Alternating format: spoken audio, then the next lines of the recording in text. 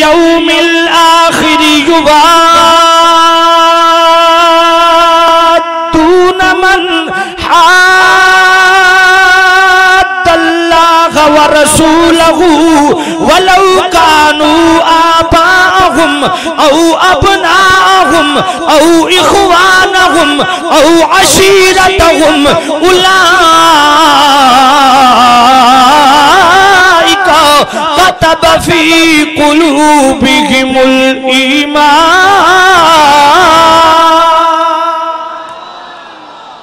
ये सूर्य मुजादला की आखिरी आयत है। इजहार मोहब्बत कैसे होता है?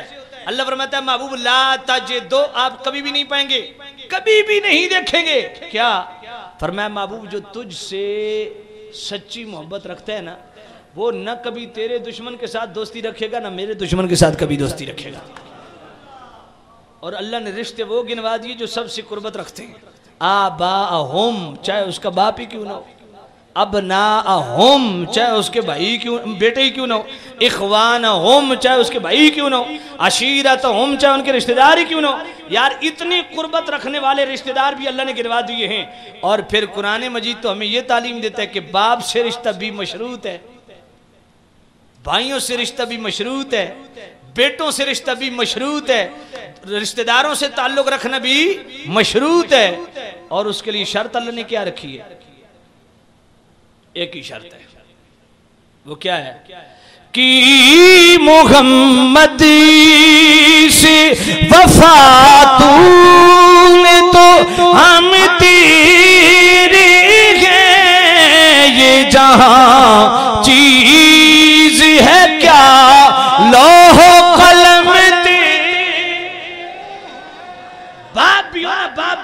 अगर बाप यार रसूलुल्लाह का इनकार कर देना तो कहो, अब्बा जी, आपको खाना तो खिलाना है, हुजूर का हुक्म है।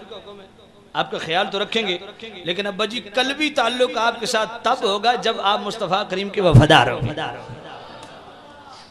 कल भी ताल्लुक कल भी वफादारी अब्बा जी, उस वक्त आपके साथ होगी, जब आप मुस्तफ़ा करीम के सच्चे वफादार हैं। मुझे आज तक नहीं समझ आई, जिस सुन्नी का यार सुल्ला कहे बगैर गुजारा नहीं है, वो दोस्ती उनके साथ निभाता है, जो यार सुल्ला का मुनकिर है। फिर कहते हैं, हम मोमिन है। ये कोई ईमान का म्यार नहीं है। ईमान का म्यार ये है, अगर बाप के नाम पे हम गैरत खाते हैं तो मुस्तफ़ा के नाम पे भी गैरत खानी चाहिए। तो सामिन जी श्याम अल्लाह ने तो इतने करीबी रिश्तेदार गिनवा दिए। पर मैं बाप भी हो, अगर मुनकर हो जाए तो बाप से भी कल भी वफादारी नहीं रखनी। अल्लाह तो ला तजदो के अल्फाज इस्तेमाल कर रहे हैं, इसका माना क्या करोगे?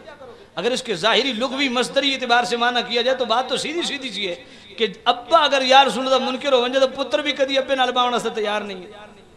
ये कुरान का म्यार है और ये म्यार कुरान दे रहा है। तवज्जो करना, ये मैं नहीं कह रहा सूर्य मुजादर है, आखिरी आयत है। आबा अहोम चाहे उसका बाप ही क्यों ना अबना अहोम चाहे उसके बेटे क्यों ना इखवान हम चाहे उसके भाई क्यों ना अशीरत हम चाहे उसके रिश्तेदार क्यों ना मेरे अल्लाह सारे रिश्ते छूट जाए तो मिलेगा क्या?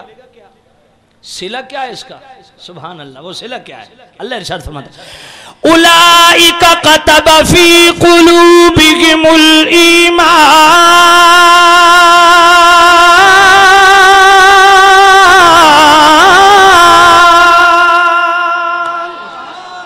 फरमाया ईमान तेरे दिल पे नक्श कर दूँगा लेकिन ईमान दिल पे लिखा जाएगा तब कब उसके लिए भी शर्त है। वो शर्त क्या है? की मोहम्मद से वफा तूने तो हम तेरे हैं की मोहम्मद से वफा।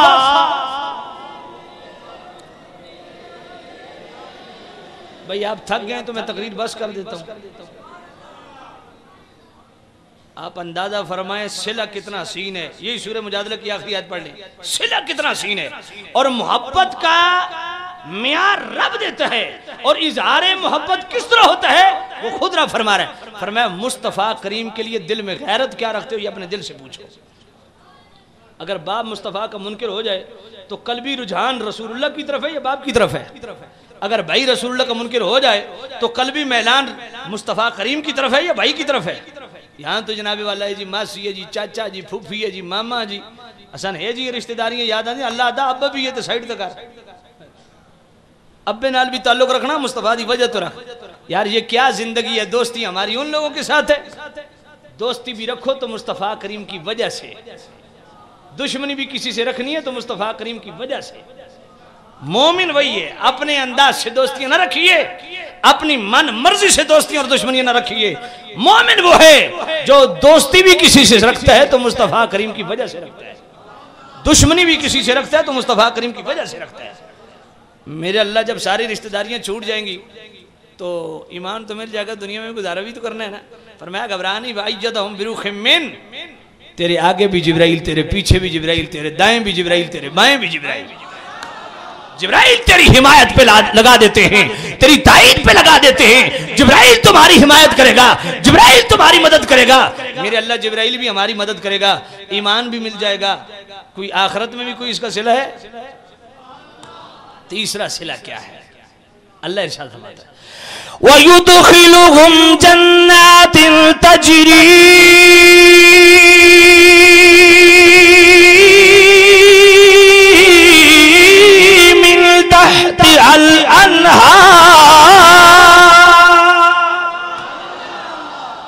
फरमाया जन्नत एक नहीं, जन्नात, कई जन्नतें तुझे अता करूँगा। अब दोस्ती का म्यार कैसा होना चाहिए? दोस्ती का इजहार किस तरह होता है? और फिर उस इजहार पे अल्लाह जजा किस तरह देता है? सिला किस तरह देता है? मोहब्बत का म्यार ये नहीं है कि ज़ुबान से कह दो हम हुजूर से प्यार करते हैं। नहीं! ज़ुबान से कहना काफ़ी नहीं है। अपने अमल से साबित करो। और उसके लिए सबसे पहले यह कि अकीदा ठीक होना चाहिए। उससे पहले क्या है? अकीदा। तो अकीदा ये कैसे ठीक है? भाई, एक बंदा यार सुल्ला का मुनकर है। आपका अकीदा यार सुल्ला कहने वाला। ये उससे दोस्ती है, ये कैसी दोस्ती है भाई? ये रिश्तेदारी कैसी है? तो रिश्तेदारी भी रखनी है तो मुस्तफ़ा करीम को बीच में रखो। ये बड़े बड़े बंगले देख के ताल्लुक और रिश्तेदारियाँ ना रखो। जी आप आए हैं, जी आपके पड़ोसी हैं, जी जी आप हमारे पड़ोसी हैं, जानते हैं, जी। कैसे आना हुआ? जी, हम चाहते हैं एक दूसरे से ताल्लुक मज़बूत हो जाए। ठीक है जी। तो आप हमारे बेटे के लिए रिश्ता दे दें। कहा, जी, ठीक है, रिश्ता देने के लिए तैयार हैं। जी, आपके लिए शर्त? कहा, शर्त एक ही है। रिश्ता देने के लिए तैयार है, शर्त एक ही है। और वो शर्त क्या है? कि मोहम्मद से वफा तो हम तेरे हैं कि मोहम्मद से वफा।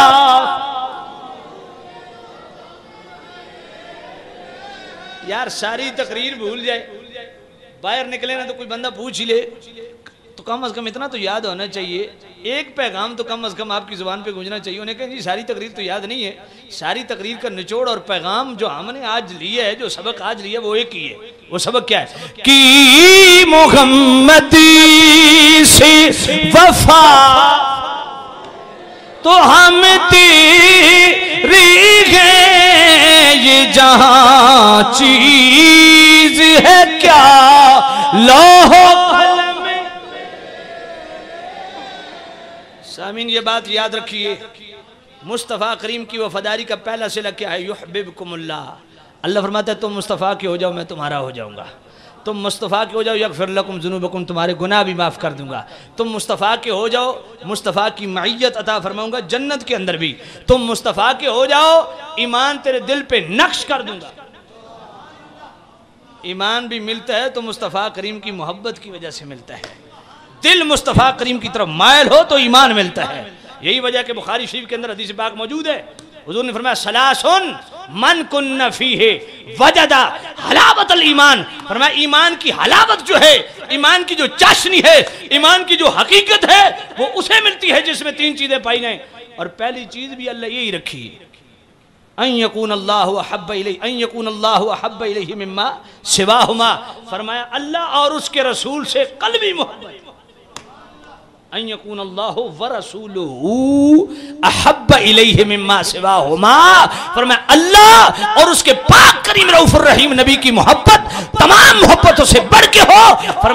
अपने बाप से बढ़ के अपनी औलाद से बढ़ के अपने रिश्तेदारों से बढ़ के अपने भाइयों से बढ़ के मुस्तफ़ा करीम से वफादारी निभाने वाला है कल भी ताल्लुक रखने वाला है फरमाया उसे ईमान की हलावत अता होगी ईमान की हकीकत और चाशनी किसे हासिल होती है जो अल्लाह और उसके रसूल से कल भी मोहब्बत करे और